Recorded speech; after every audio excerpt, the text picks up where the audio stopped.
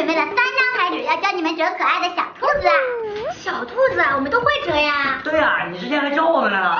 之前啊我教你们的是弹跳小兔子，这一次可不一样，是能吹气的小兔子。能吹气的小兔子啊？哦，是不是就跟那个能吹气的皮卡丘差不多呀？没错，那个能吹气的皮卡丘大家都挺喜欢的。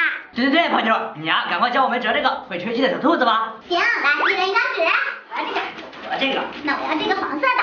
第一步呢，把纸折成米字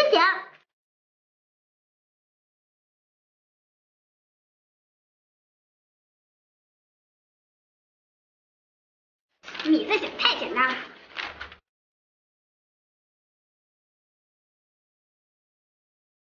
折好之后呢，把它折成三角形，然后四个角都往中间折。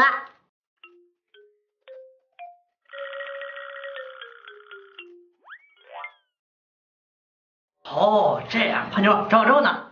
接下来呢，把两个角沿中间线往里折。啊。折好之后呢，把下面的三角形也往上折。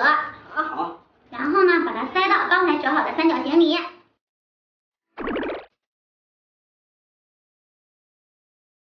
现在呢，咱们把下面的三角形啊也给它折里面去。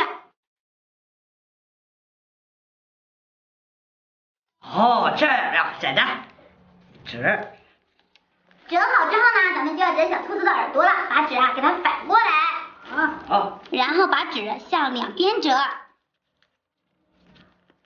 小兔子的耳朵也要给它打开要的一步来了，给小兔子吹满气。我也吹一下试试。哎，还真起来了！咦，吹起来了！胖妞，这也不像小兔子呀。现在当然不像了，我们要给它画上五官和表情。好。好。画上大眼睛。喂，咦，好好看呀。那我就给它画个小小的眼睛。要给它画一个布灵布灵的眼睛。我都画好了，你来看。咦，小黑，你这画的什么呀？太难看了，还是看我的吧。大仙儿，你的一点也不好看。哎呀，小黑，我觉得大仙的挺好看的，不过最好看的还是我的。哇，胖妞，你折的小兔子呀，非常的威武霸气。